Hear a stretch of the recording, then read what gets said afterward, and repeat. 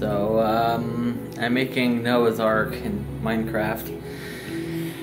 Um, it's uh, a little bigger than I thought it would be. It's kind of bringing perspective to the story here. I, I knew it was huge. I uh, just didn't know how huge.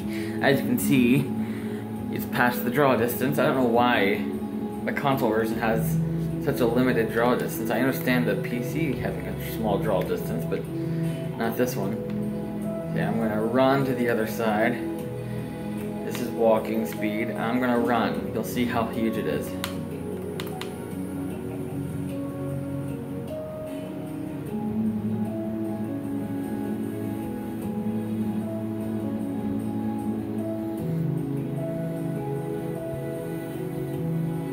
According, according to the Bible, Noah's Ark was 300 cubits long, 30 cubits high, and 50 cubits wide. And I just translated that to one block per cubit. That's the closest I could find. I mean, I. All the sites were saying that's pretty much right. The modern meter is. The, a, a block is.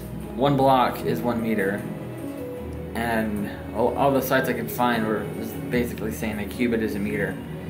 Uh, like, well, not exactly meter. It's like one point something meters. So it's like pretty close.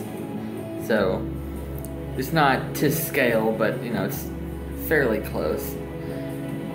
Still, this is huge.